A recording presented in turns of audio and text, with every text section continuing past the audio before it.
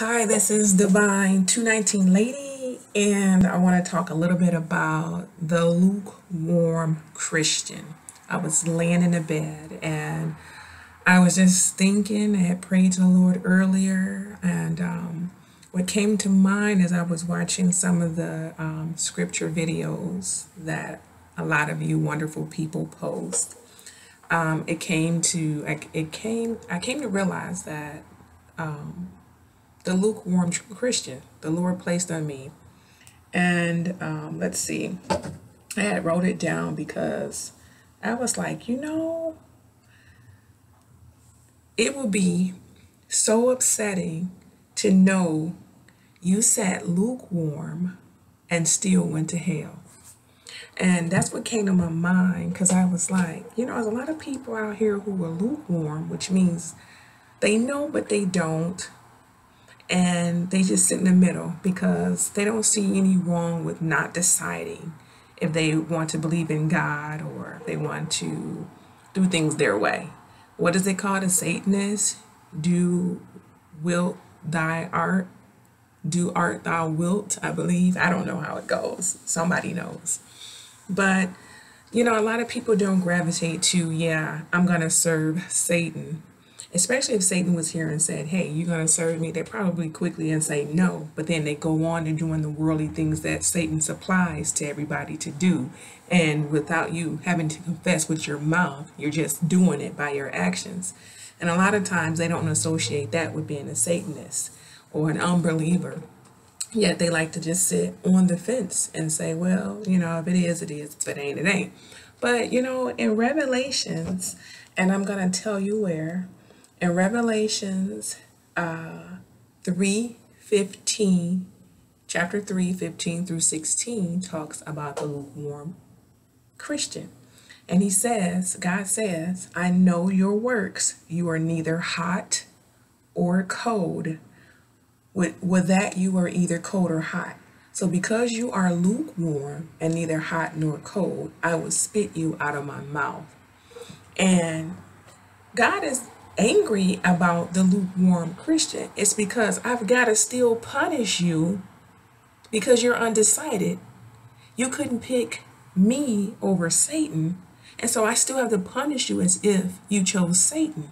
And this is why I hate you. This is why I'm spitting you out of my mouth because you couldn't choose whether to go my way or go the highway, the other way. And so that's how I took that scripture. And so, what is a lukewarm Christian? Because a lot of people don't know. A lukewarm Christian may have some belief in a higher power, the Most High. They may have heard about Jesus Christ. They may have heard other people talking about it. They may have seen things, but they actually don't actually indulge in seeking Him.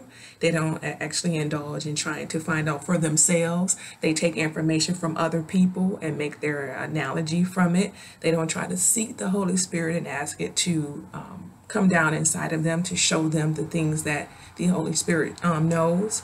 So they want to do things their way. They do art thou wilt way, which means that, well, if it is, it is, ain't, it ain't. But they still watch their TVs, they still go on social media, they still play with their phones, they're still into their, their worldly things. Um, they, they find faith in work. They find faith in the things that they're doing. They find faith in their wives or their husbands. They find faith in their children, their families. They find faith in everything but the Most High, Yahshua HaMashiach. They find faith in everything but. And devil, the devil don't need you to confess to him that you believe in him if you're showing him that you believe in him. And God is not going to sit here and say, I'm going to make you serve me because you're serving Satan. He's going to give you freedom to choose. Because there is a strong delusion sent to you who would rather believe the lie than the truth. And God will send it to you. And, and with that being said, that means that you will get some type of incentive or some type of direction as to what is the truth. But because you deny the truth, he will send you a great delusion so that you may believe in a lie.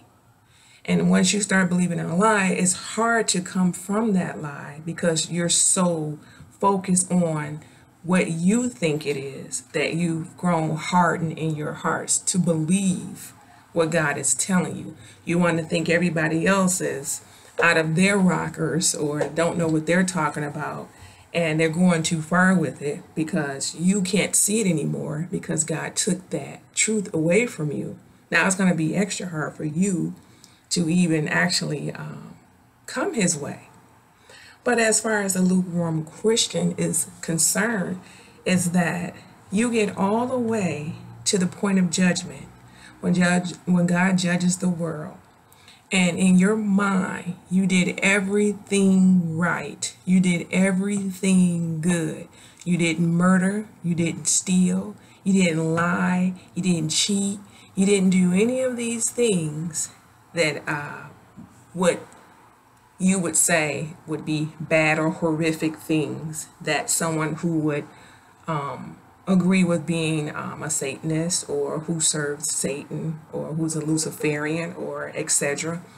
You feel like you still have the rights to the kingdom of God. Well, you don't. And it will be a pure, a, um, pure shame that upon judgment, God has to kick you to the point where you have to burn internally in a lake of fire, tormented. And if you're still in your right mind and you can think past all of that tormenting, I just wonder if you would think, wow, how am I here in this point where I'm burning just like the, the most horrific person, the most devilish person, the most cruel person, the most unappealing person? How am I dying with them and I didn't even do any of those things. You'll probably also be thinking, well, I should have just did all the stuff that I, I should have done like everybody else. That way I deserve to have this. You probably think that if you're able to think rightly while you're in torment, you'll probably think all of those things. And, and this is why God doesn't want you to be lukewarm because you're going to feel like your punishment is not justified because you sat on the fence. So, with that being said, try to find out your path. If you're going to deal with the Most High, then deal with the Most High, Jesus Christ. Deal with Him, see Him, believe in Him, know Him. If you're going to deal with the devil, then accept your punishment, but it would be justified. Either way, if you're lukewarm, it's still going to be justified because you didn't choose God, you chose yourself. And that right there is a form of idolatry that you're choosing yourself above God. And this is why you get thrown into the lake of fire. Now, there's another verse in Revelation that speaks of, let's see, Revelations 14, chapters, chapter 14, verse 10 and 11. And it says, The same shall drink of the wine of the wrath of God, which is poured out without mixture into the cup of his indignation. And he shall be tormented with fire and brimstone in the presence of the holy angels and in the presence of the Lamb. And the smoke of their torment ascended up forever and ever, and they have no rest day or night, who worship the beast and his image and whosoever receives the mark of his time. And worshiping the beast, if you believe it, is worshiping yourself because that's idolatry and that's part of the beast system. So you're worshiping the beast because he's against God. He's he's he wants to be anything opposite of what God is trying to do. He wants to bring your attention away from God. So if that's to edify yourself, then you're serving the beast. And that's a form of idolatry. It's part of the sins. So, like and comment, subscribe if you're interested. I do post periodically. Um, I do. I enjoy. Um, I've been in my walk for a long, long, long time. So, and I, I did backslide um, a couple years. I just didn't seek Him the way I would. I always believed, and um, I've always had a grand yearning to go home.